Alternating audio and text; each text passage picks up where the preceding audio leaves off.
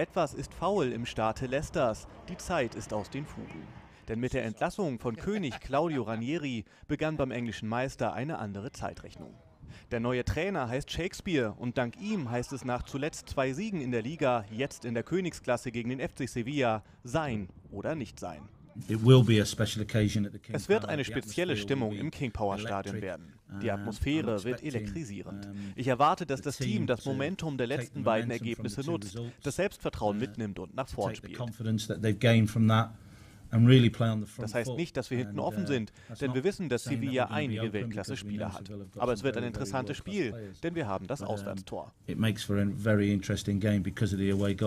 1 zu 2 verlor Leicester das Hinspiel in Sevilla. Im Anschluss wurde Claudio Ranieri entlassen, der erst im letzten Jahr sensationell mit den Foxes Meister wurde.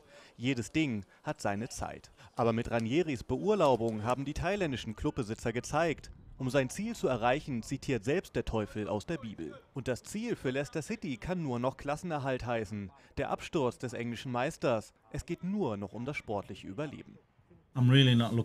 Ich blicke wirklich nicht bis zum Saisonende. Wir haben noch wahnsinnig wichtige Spiele vor uns. Darauf müssen wir uns fokussieren. Ich weiß, das alte Sprichwort ist, ein Spiel zur Zeit, darauf kommt es an. Wir werden im Sommer viel Zeit haben zu reflektieren, zurückzuschauen und eine Bestandsaufnahme zu machen. Leicesters Hoffnung, ein tiefer Fall führt oft zu höherem Glück. Der Rest ist Schweigen.